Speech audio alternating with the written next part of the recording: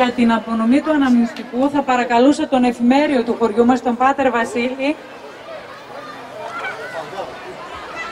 τον χωροδιδάσκαλο του Συλλόγου, τον κύριο Κάκο Οδυσσέα,